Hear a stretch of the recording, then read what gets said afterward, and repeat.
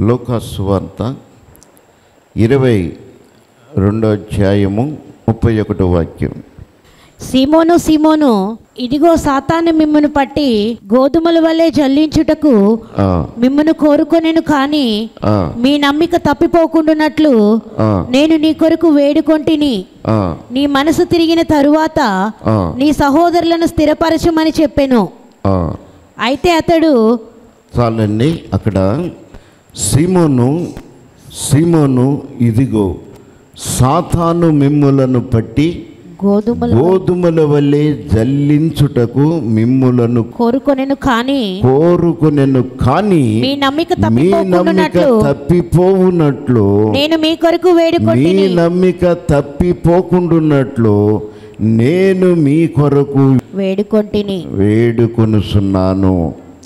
సీమోను సీమోను ఇదిగో సాతాను మిమ్ములను పట్టుకొని గోధుమలు సల్లించున్నట్లుగా మిమ్ములను సల్లించవలనని వాడు కోరుకొని ఉన్నాడు. మిమ్ములను గోధుమలను ఏ రీతిగా సల్లించుతున్నారో అదే రీతిగా సాతాను మిమ్ములను శోధించాలి అని. సాతాను మిమ్ములను పట్టుకోవాలని వాడు ఆశ కలిగి ఉన్నాడు. కనుక మీ నమ్మిక తప్పిపోకుండానట్లుగా నేను మీ కొరకు నేను నా తండ్రిని వేడుకొనుస్తున్నాను కనుక మీరు మెలకువ కలిగి ప్రార్థన చేయండి.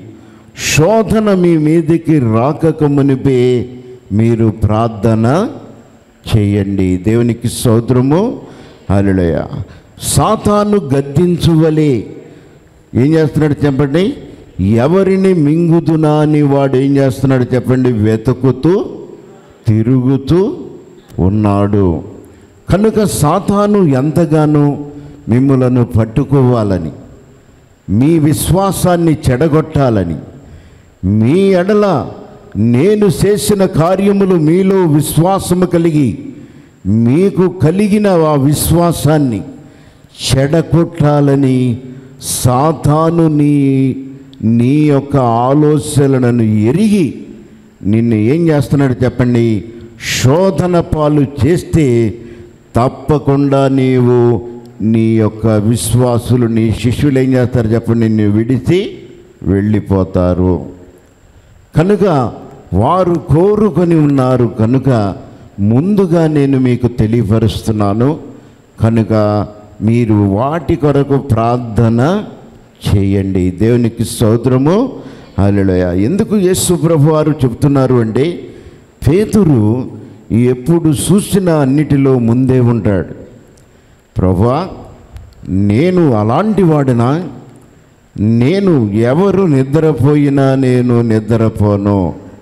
ఎవరు మారినా నేను మారను. ఎవరు ఏది చేసినా నేను మాత్రం అలాంటి వాడను కాను అనేవారు సంఘాలలో ఉంటారు.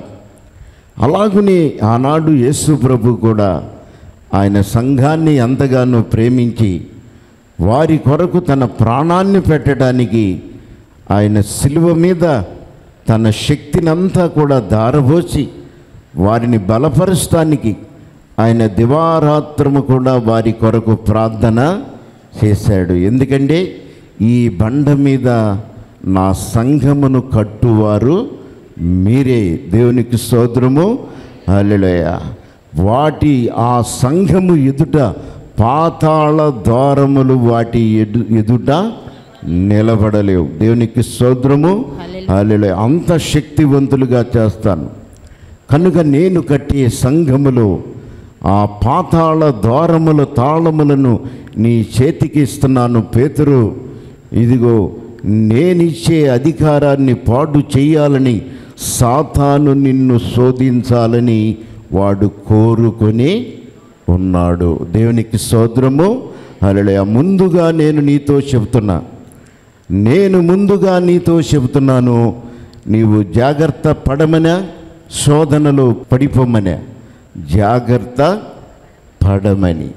ఎందుకంటే నేను మీ ఎదుట చేసిన కార్యములు మీరు చెడగొట్టుకొనక నేను మీ ఎదుటగా చేసిన కార్యములలో విశ్వాసాన్ని మీరు కోల్పోకుండా వాటిని చెడగొట్టుకొనకుండా మీరు నా సంఘము అని అంటే క్రీస్తు అనే బండ మీద మీరు సంఘమును కట్టేవారిగా ఉండాలి అంటే ఇప్పుడు నీవేం చేయాలి చెప్పండి? ప్రార్థన చేయాలి. దేవునికి సోదరము.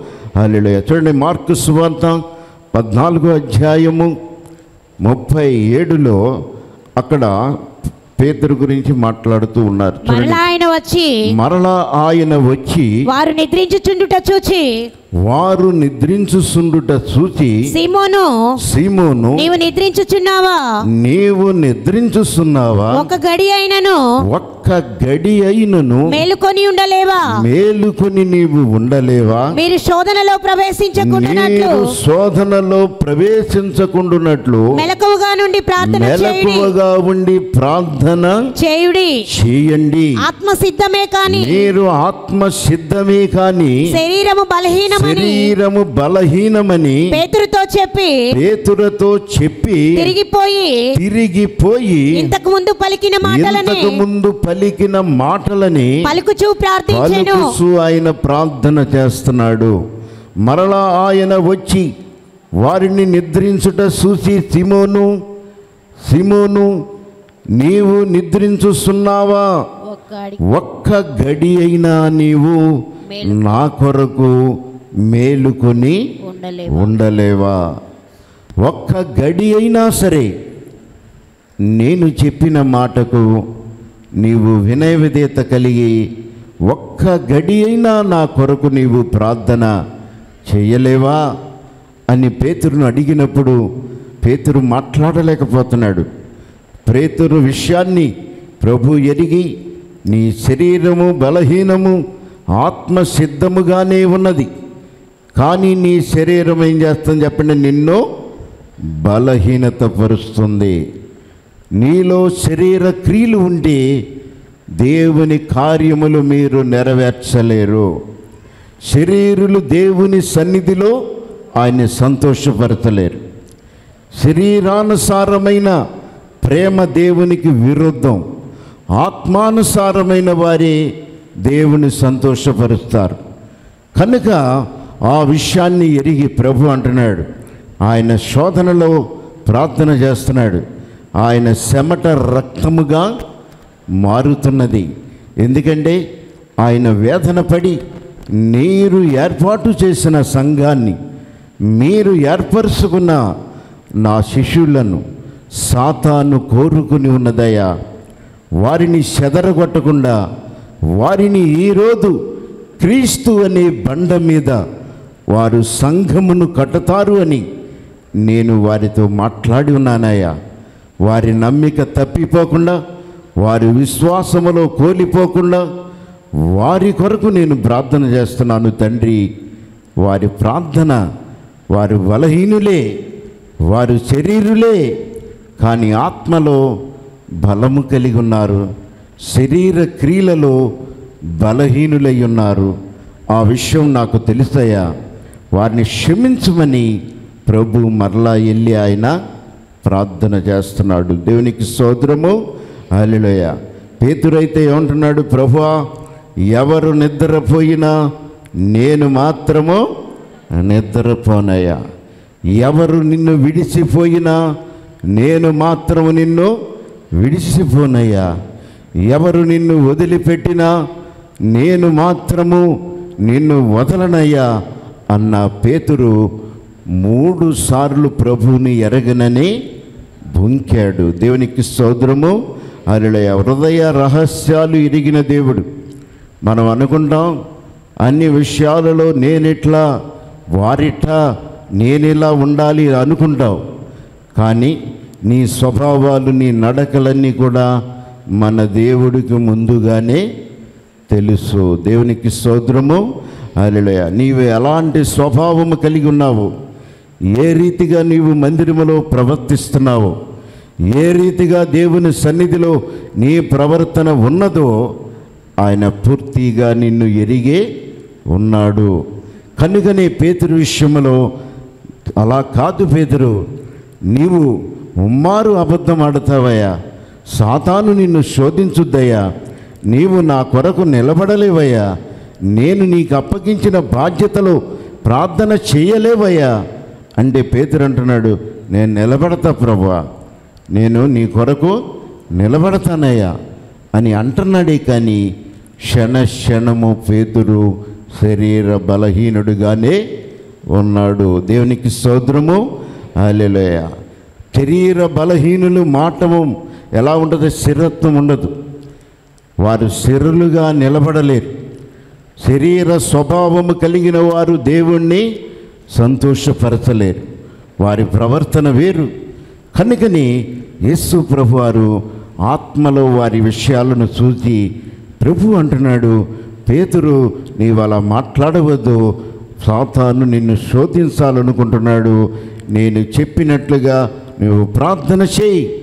నేను నిలబడి ఉన్నాను నాకేం పర్వాలేదయ్యా అని నీవు అనవద్దు ప్రార్థన చేయి అని చెబితే పేతురు అంటున్నాడు లేదు ప్రభా నేను బలము కలిగి ఉన్నాను. దేవునికి స్తోత్రము.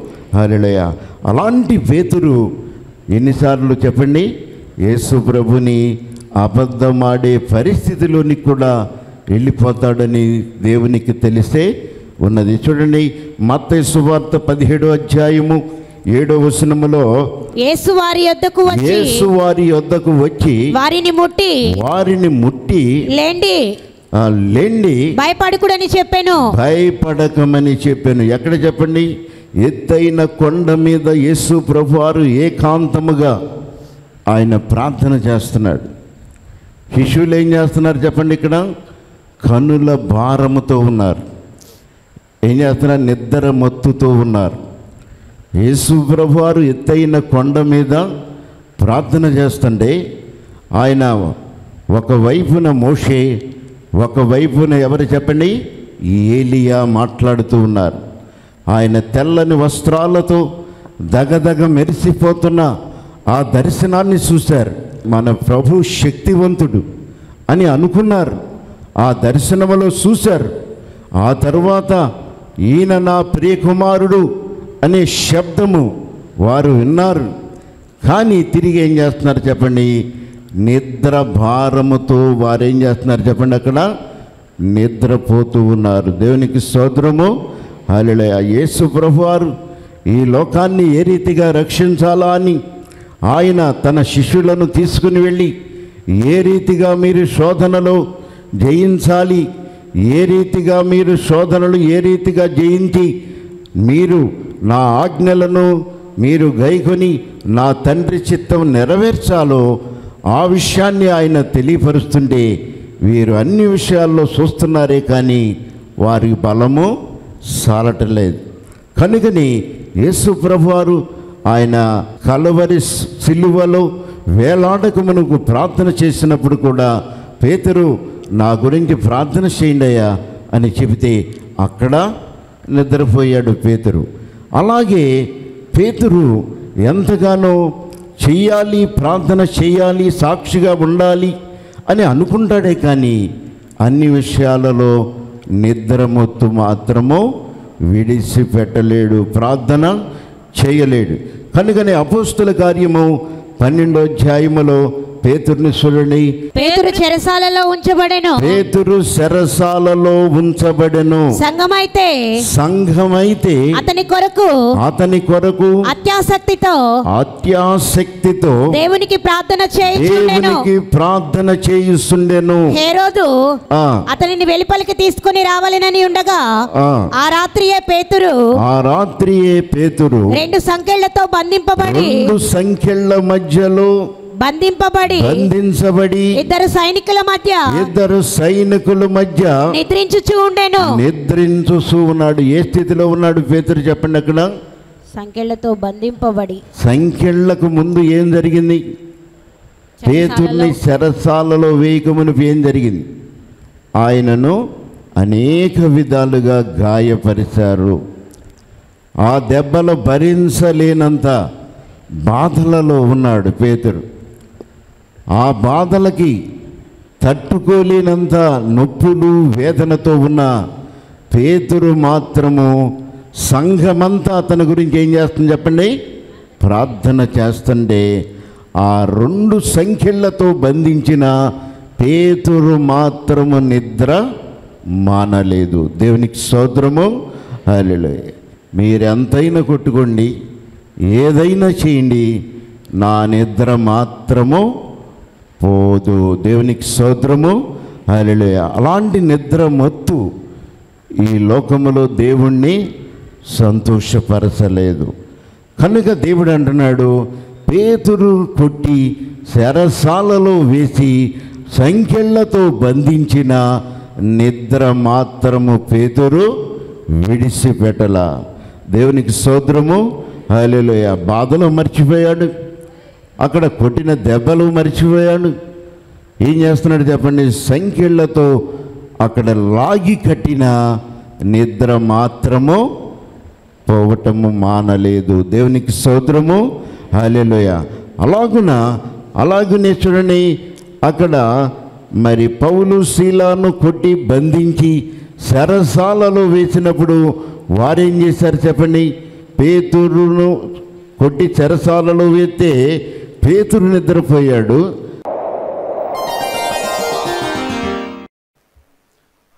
నా పేరు రాజేష్ అండి. నేను బోడపాడు నుంచి వస్తాను. ఈ సన్నిధికి నేను రెండు వేల పదహారులోనే వచ్చాను. వచ్చానంటే ఏదో ఒకట సమస్యతోనే ఈ సన్నిధికి నేను వస్తూ ఉంటాను. వస్తూ ఉంటాను అయ్యగారితో అమ్మగారితో ప్రార్థన చేయించుకుంటాను ఆ సమస్య తీరిపోయింది మళ్ళీ ఈ సన్నిధిని మానేయడం జరిగింది. అలా రెండు వేల పదహారు నుంచే జరుగుతూ ఉంది. రెండు వేల పదహారులో మా అలా వచ్చాను. నాలో ఉన్న సమస్య తీరిపోయింది మళ్ళీ మానేశాను. నేను ప్రైవేటు జాబ్ చేస్తూ ఉండేవాడిని. అలాగే రెండు వేల పదిహేడులో ఈ ప్రైవేట్ జాబ్ చేయడం కన్నా ఏదైనా గవర్నమెంట్ జాబ్కి ప్రిపేర్ అవ్వాలన్న ఆలోచనతో ఆ జాబ్ మానేశాను రెండు వేల పదిహేడులో. రెండు వేల పదిహేడు నుంచి పద్దెనిమిది వరకు వన్ ఇయర్ ఆల్మోస్ట్ ఈ గవర్నమెంట్ జాబ్స్ అన్నీ రాసు రాస్తూనే ఉండేవాడిని. జస్ట్ టూ త్రీ మార్క్స్లో అలా మిస్ అవుతూనే ఉండేవాడిని. మిస్ అవుతూనే ఉండేవి. ఏంటంటే నేను దేవుని నమ్ముకున్న బిడ్డనే కానీ విశ్వాసం ఉండేది కాదు. జస్ట్ చర్చ్కి వెళ్తూ ఉండేవాడిని ప్రేయర్ చేయించుకుంటూ ఉండేవాడిని అన్నీ చ- చర్చ్ విషయాల్లో అన్నింటిలో పాలు పాల్గొంటూ ఉండేవాడిని. కానీ విశ్వాసంతో మాత్రం వెళ్తుండేవాడిని కాదు.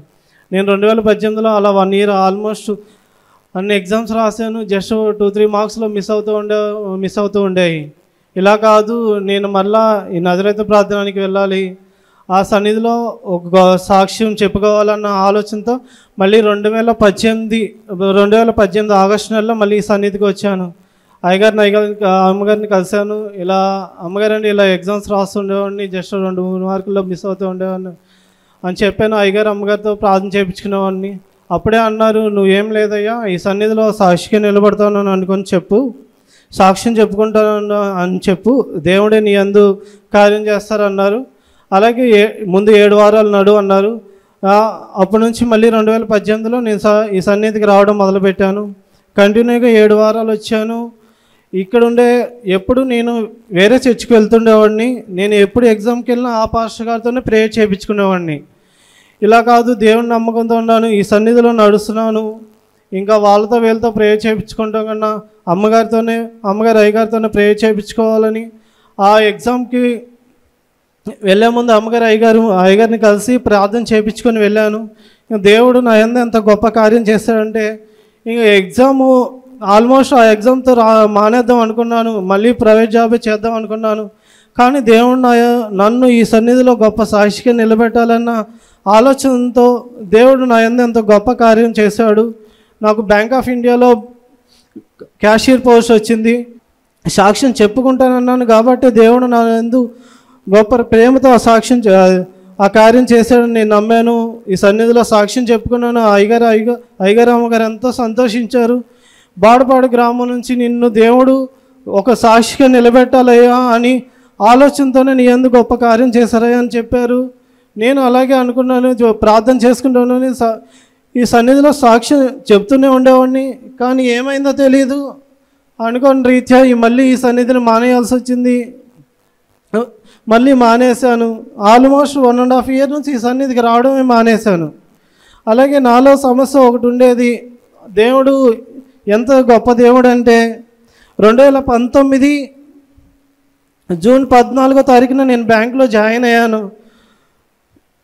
బ్యాంక్లో జాయిన్ అయ్యాను. అప్పటికి ఎక్కడంటే దగ్గర దగ్గర ఈస్ట్ గోదావరిలో ఇచ్చారు పోస్టింగు.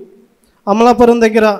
నేను అమ్మగారికి అయ్యగారికి చెప్పాను అయ్యగారు అమ్మగారు నేను అంత దూరం వెళ్ళి మళ్ళీ ఒక్కడనే ఉండి ఆ జాబ్ చేయగలనన్న ఆలోచన నన్ను వెంటాడుతూ ఉండేది. కానీ దేవుడు ఎంత గొప్ప దేవుడు అంటే అయ్యగారు ద్వారా నాలో ఉన్న సమస్యను తీసివేసి ప్రార్థన చేసి అక్కడ దగ్గర దగ్గర ఆరు నెలలు నేను ఒక్కడనే రూమ్లో ఉండేవాడిని. ఎప్పుడు అమ్మ వారం వారం అయ్యగారికి అమ్మగారు ప్రార్థన ఫోన్ చేస్తూ ప్రార్థన చేయించుకుంటూ ఉండేవాడిని. దేవుడు ఎంత గొప్ప దేవుడు అంటే ఇప్పుడు మా బ్యాంక్ జాబ్లో ట్రాన్స్ఫర్ రావాలంటే nearly three years three years ఒక బ్రాంచ్లోనే చేయాలి. కానీ దేవుడు నేను దేవుడు నమ్ముకున్నాను కాబట్టి జస్ట్ సిక్స్ మంత్స్లోనే దేవుడు నాకు విజయవాడ ట్రాన్స్ఫర్ దయచేశాడు. ఆ గొప్ప సాక్షి ఎన్ని సాక్ష్యాలు అంటే నా జీవితంలో చెప్పుకోలేనని కానీ నేను దేవుణ్ణి విశ్వాసంతో ఉండేవాడిని మాత్రం కాదు. జస్ట్ ప్రా వస్తూ ఉండేవాడిని ప్రార్థన చేయించుకునేవాడిని వెళ్ళేవాడిని. సాక్ష్యం చెప్పాలంటే ఏదో గిల్టీగా ఉండేది. పద్దాలు చెప్పాలా అన్న ఆలోచనతోనే ఎప్పుడు వెళ్ళినా సరే సాక్ష్యం చెప్పమంటారు. నాకున్న సమస్యని పది మందికి చెప్పాలా అన్న ఆలోచనతో గిల్టీతో ఏమో కానీ ఈ సన్నిధిని మానేయడం జరిగింది. రెండు వేల ఇరవై ఒకటిన నాకు మ్యారేజ్ కుదిరింది. మ్యారేజ్ అంటే అది కరోనా ముందు. కరోనా రెండు వేల ఇరవై రెండు వేల ఇరవై ఒకటి ఏప్రిల్లో నాకు ఎంగేజ్మెంట్ జరిగింది. అంతా బాగానే ఉండే. అప్పటికి నేను సన్నిధిని మానేసాను సన్నిధి మానేసి నేను మళ్ళా వేరే చర్చికి వెళ్తూనే ఉండేవాడిని. రెండు వేల ఇరవై ఒకటి ఏప్రిల్లో ఎంగేజ్మెంట్ జరిగింది. ఈ నాకు మా నాన్నగారికి యాక్చువల్గా బాగోదు. బాగున్న పక్షం మా పెదనాన్నగారే ఈ ఎంగేజ్మెంట్ పనులన్నీ చూస్తుండేవాడు. ఆయన ఏం చేస్తాడంటే రెండు వేల ఇరవై ఒకటి ఎంగేజ్మెంట్ అయిన తర్వాత జీవితంలో మ్యారేజ్ పెళ్ళి అనేది ఒకటే చేసుకుంటాము. మంచి మంచి రోజు అంటూ ఉండేది దేనికైనా అంటూ నన్ను నేను వెళ్ళని ప్రదేశాలు కూడా ఆయన నన్ను తీసుకొని వెళ్ళాడు. ముహూర్తాలు చూపించాలి అది చూపించాలి ఇది చూపించాలని. ఇది ఇంతవరకు ఎవరికి చెప్పలేదు. కనీసం నేను చేసుకున్న నా భార్య కూడా ఇంతవరకు ఈ విషయం తెలియదు. కానీ దేవుడు దానికి తగిన ప్రతిఫలాన్ని నేను అనుభవించాను. రెండు వేల ఇరవై ఒక ఏప్రిల్ పదో తారీఖున ఎంగేజ్మెంట్ జరిగింది. ఏప్రిల్ ఇరవైన ఇలా జాతకాలు చూపించాలని నన్ను వేరే సాడికి తీసుకెళ్ళారు. నాకు ఏప్రిల్ నెలాకన్నా కరోనా వచ్చింది. దేవుడు ఎంత గొప్ప దేవుడు అంటే నేను అప్పటికి అనుకుంటానే ఉన్నాను. వెళ్ళకూడదు దేవుడిని నమ్ముకొని ఇలాంటి పనులు చేయడం ఏంటి అని. కానీ దేవుడు నా ఎందు గొప్పగా మేలు చేశాడు. రెండు వేల ఏప్రిల్ ఇరవై ఇరవై ఎనిమిదిన కరోనా వచ్చింది. ఈ కరోనా వస్తే యాక్చువల్గా మే పదమూడున మ్యారేజ్ డేట్ పెట్టుకున్నాము. మే పదమూడున మ్యారేజ్ డేట్ పెట్టుకున్నాము. ఏప్రిల్ చివరిలో నాకు కరోనా వచ్చింది. కరోనా వచ్చి ఏ విధంగా పాల్గొంటున్నాం అని దేవుణ్ణి ఎంతగానో బతుకులాడాను దేవుడు నా యందు ప్రేమించి ఈ సన్నిధిలో నన్ను తిరిగి రప్పించాలన్న ఆయన ఉద్దేశంతో మే పదమూడున కరోనా ప నెగిటివ్ అని వచ్చింది. దేవునికి ఎంతో మేలుపడి ఉండాలని అనుకున్నాను నేను అప్పుడే నిశ్చయించుకున్నాను. మళ్ళీ ఈ సన్నిధిగా కరోనా తగ్గిన తర్వాత అమ్మగారు నైగారిని కలిసాను ఇలా అప్పటికీ చెప్పలేదు అమ్మగారికి. ఇలా ముహూర్తాలు చూపించడానికి వెళ్ళామండి. ఇలా దానివల్ల ఇలా కరోనా వచ్చిందన్న ఆలోచన అమ్మగారికి అయ్యగారికి కూడా ఆ టైంలో చెప్పలేదు. కానీ అమ్మగారు వెళ్ళి ముందు ఒకటే ప్రార్థన చేసుకున్నాను. వెళ్ళి అమ్మగారిని అయ్యగారిని కలిసి దశంభాగం ఇచ్చి ప్రేయర్ చేయించుకోవాలనుకున్నాను వచ్చాను కలిశాను. నా సమస్యలను తిప్పాను ఏ ఇలా జూన్ ఇరవై ఇరవై నాలుగున మ్యారేజ్ పెట్టుకున్నామని అని చెప్పాను. కుదిరితే వస్తావయ్యా. మేము రాపోయినా సరే మా దీవెనలు నీకు ఉంటాయి దేవుడు చూ- చూపు నీ మీద ఉండిద్దిలే. నువ్వు నిశ్చయంగా ఉండు అన్నారు ప్రార్థన చేయించుకున్నాను. మ్యారేజ్ కూడా ఎంతో ఘనంగా జరిగింది. అంతా అయిపోయింది. కానీ మ్యారేజ్ అయిపోయిన తర్వాత కూడా మ్యారేజ్ ముందు మా అయ్య- అయ్యగారికి అమ్మగారు ఒక మాట ఇచ్చాను. ఇక మ్యారేజ్ అయిపోయిన తర్వాత నా భార్య మా భార్యతో కూడా నేను ఈ సన్నిధిలో ఒక సాక్షిగా నిలబడతానండి. తీసుకొస్తానని చెప్పాను. కానీ మ్యారేజ్ అయ్యి దగ్గర దగ్గర సంవత్సరం అవుతుంది. ఇదే నేను మళ్ళీ మ్యారేజ్ అయిన తర్వాత ఇక్కడికి రావడం. దేవుడు నా ఎంత గొప్ప దేవుడు అంటే తను నమ్ముకున్న దే దేవుణ్ణి ఎప్పుడు చేయి విడవడు. ఎందుకంటే నేను ఇప్పుడు ఏ సన్ని ఈ సన్నిధికి వస్తుందంటే ఏదో ఒకటి సమస్యతోనే రావడం జరుగుతుంది. సమస్య ఎందుకు వస్తుందంటే నేను దేవుడు చెప్పిన మాటను విడకుండా నా ఇష్టానుసారంగా ఈ లోకంలో జీవిస్తున్నాను. నన్ను గొప్ప సాక్షిగా నిలబెట్టాలి అని చెప్పిన దేవుణ్ణి నేను వదులుకొని నా ఇష్టానుసారంగా జీవిస్తున్నాను అంటే దానికి తగిన ప్రతిఫలాన్ని నేను ఏదో ఒకటి క్షణంలో అనుభవిస్తానని నాకు తెలుసు. తెలిసి కూడా నేను నా ఇష్టానుసారంగానే జీవిస్తున్నాను. అలాగే పది రోజుల క్రితం ఎంత సమస్య అంటే తల్లో బలమైన భారం. భారం అంటే అది చెప్పుకోలేంది ఏ నాకు ఏమవుతుందో తెలియదు. ఏం చేస్తున్నానో కూడా తెలియదు. ఆ సమస్య ఎంత బలహీనంగా పనిచేసిందంటే నేను ఏదో కూడా ఈ బతుకు బతకడం కన్నా చనిపోవడం మేలు అన్న ఆలోచన వరకు నన్ను తీసుకెళ్ళిపోయింది. కానీ ఆ సమయంలో కూడా దేవుడు నీకు ఒక సన్నిధి అంటూ ఉన్నది నిన్ను కాపాడే దేవుడు ఉన్నాడన్న ఆలోచన నన్ను నా నడిపించి అమ్మగారికి అయ్యగారికి ఆ క్షణంలోనే ఫోన్ చేసి చెప్పాను నా సమస్య గురించి. ఆ క్షణంలో చెప్పాను అమ్మగారు అయ్యగారు ప్రార్థన చేశారు.